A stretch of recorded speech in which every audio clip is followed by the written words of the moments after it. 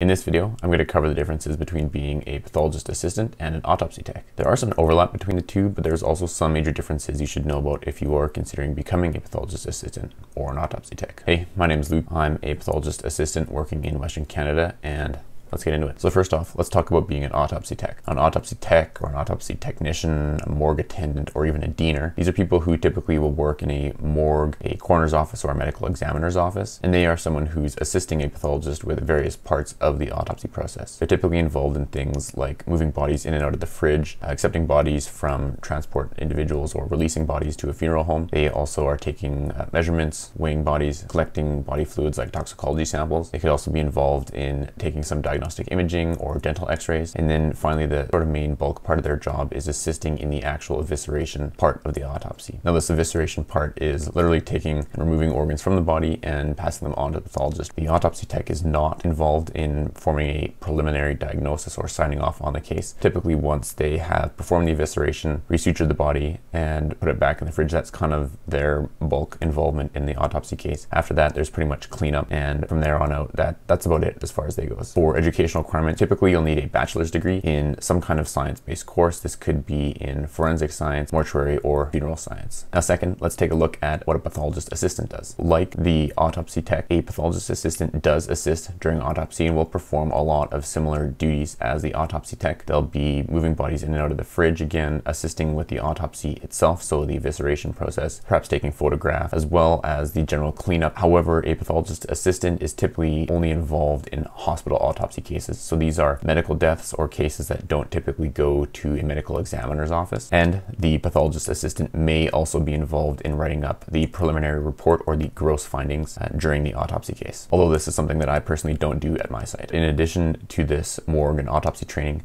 a pathologist assistant is also trained to do surgical specimen dissection. So they'll be receiving tissue from surgical suites, doing dissections, describing their gross uh, or findings that they can see with their eyes, and working alongside pathologists and sometimes surgeons as well. Now this work has more direct diagnostic implications because the person is typically still alive when you receive a specimen from them. So a lot of your work has implications for how the person is going to be treated or whether or not whatever surgical process they've had is curative. You're also typically involved in reviewing their medical records before you actually start working on a case. You'll have to review some diagnostic imaging. You may be collecting additional tissue samples from a primary specimen for extra testing, and you will also be sometimes performing specimen discards. Typically, PAs are involved in hospital labs, private labs, or teaching labs. As far as educational requirements go for a pathologist assistant, you must graduate from a NAACLS accredited training institution, and then following that, you have to pass a ASCP or CCCPA certification exam, and this will grant you the pathologist assistant title. Acceptance into an NAACLS program typically requires a science-based bachelor's degree,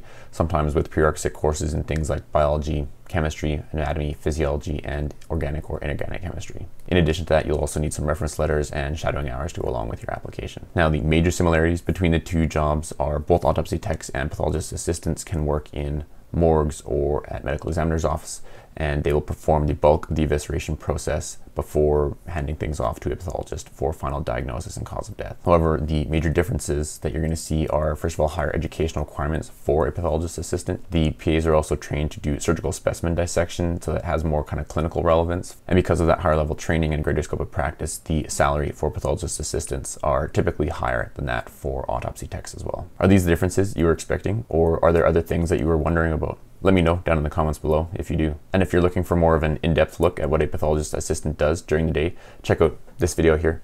Thanks, and I'll catch you next time. Next time.